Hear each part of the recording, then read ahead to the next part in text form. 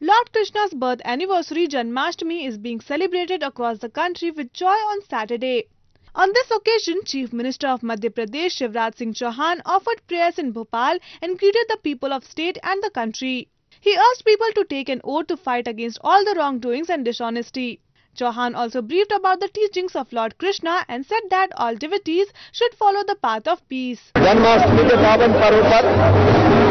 सभी प्रदेशवासियों को, देशवासियों को हार्दिक शुभकामनाएँ। भगवान श्री कृष्ण ने कहा है। यदा यदा ही धर्मस्य ग्लानिर्भवती भारता व्युत्थानम धर्मस्य तदात्मानम सुजाम्यम, परित्राणाय साधुनाम विनाशाय च दुष्कृताम धर्म संस्थापनार्थाय संभवाभी युगे युगे।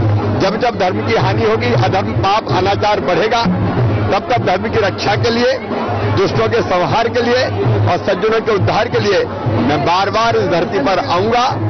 आज हम सब यही संकल्प करें कि जहाँ अत्याचार, अनाचार, अन्याय है, उसके खिलाफ हम लड़ें और सचमुच में जो जिस जिस शांत और समृद्ध, यशस्वी राज्य की स्थापना की कल्पना Bhagwan Sri Krishna ki thi.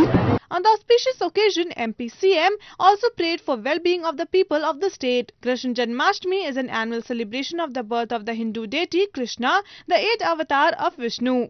Correspondent R.C. Sahu from Bhopal for ANI.